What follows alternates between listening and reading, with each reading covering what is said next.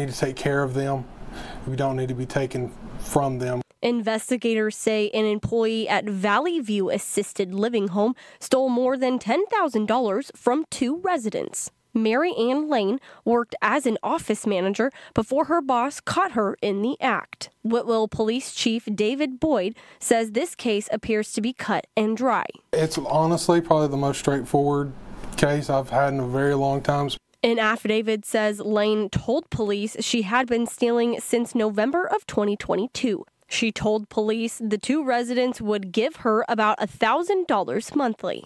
According to the affidavit, the residents would give Layne a check that was made out to the assisted living facility. But instead of getting just what they needed from Walmart, it says that Layne would keep the rest of the money that was not used. The assisted living was still providing care for them and still doing everything they, they were supposed to. I went to Valley View to get their response to Layne's arrest. They told me they are cooperating with police and the DA's office. However, they would not comment further. You know, someone stealing 16,000 from two elderly residents.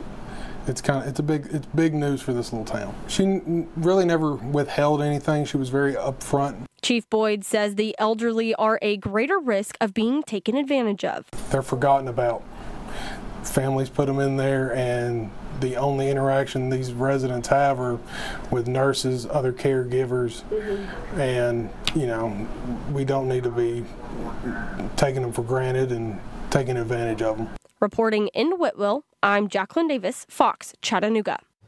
Layne will appear in court next month.